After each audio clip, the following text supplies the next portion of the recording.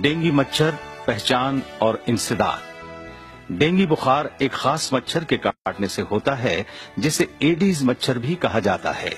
اس مچھر کا رنگ سیاہ ہوتا ہے اور اس پر سفید رنگ کی دھاریاں ہوتی ہیں۔ اس مچھر کی دو اقسام ہوتی ہیں، ایک کو ایڈیز ایلبوپکٹس اور دوسری قسم کو ایڈیز ایجپٹائی کہتے ہیں۔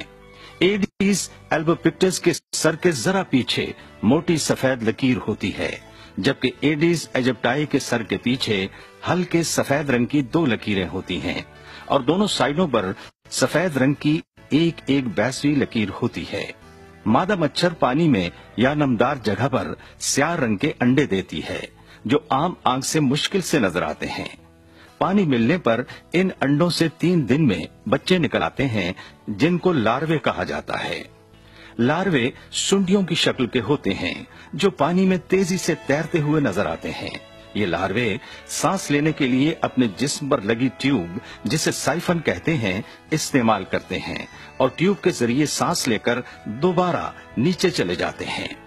اس سائفن ٹیوب سے ڈینگی مچھر کے لاروے کی پہچان کی جا سکتی ہے۔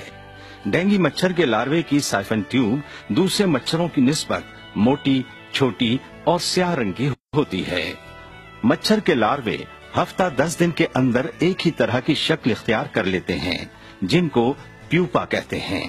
مچھر کا پیوپا پانی میں رہتا ہے اور ایک ڈیڑھ دن بعد بالغ مچھر میں تبدیل ہو جاتا ہے، جس کے دو پر اور چھ ٹانگیں ہوتی ہیں۔ ملاپ کے بعد مادہ مچھر انسانوں کا خون چوستی ہے اور پھر پانی میں انڈے دیتی ہے۔ مچھروں کے لاروے کی پہچان ٹارچ اور محدب عدسے سے کی جا سکتی ہے۔ ڈینگی مچھر کم پانی، کسی برتن یا عارضی کھڑے پانی میں انڈے دینا پسند کرتا ہے۔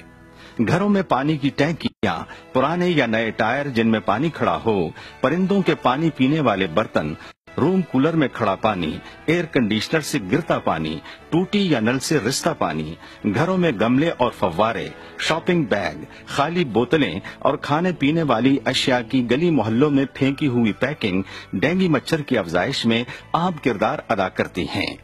ڈینگی مچھر کے انسداد کے لیے تمام جگہوں کی صفائی کریں۔ فالتو اشیاء اور کوڑے کرکٹ کو ٹھکانے لگائیں اور مچھر کی افزائش کے تمام ذرائع کا خاتمہ کریں۔ اپنے گھروں کے اندر اور گلی محلوں میں پانی کھڑا نہ ہونے دیں۔ گملوں، پرانے ٹائروں اور ایسی دیگر اشیاء میں پانی جمع نہ ہونے دیں تاکہ مچھر انڈے نہ دے سکیں۔ گھروں کے اندر مچھر مار سپرے کروائیں۔ معاشرے کے تمام طبقوں کا فرض ہے کہ وہ مچھر کے انسداد کی مہم میں فعال کردار ادا کریں تاکہ مشترکہ کوششوں سے اس وبا پر قابو پایا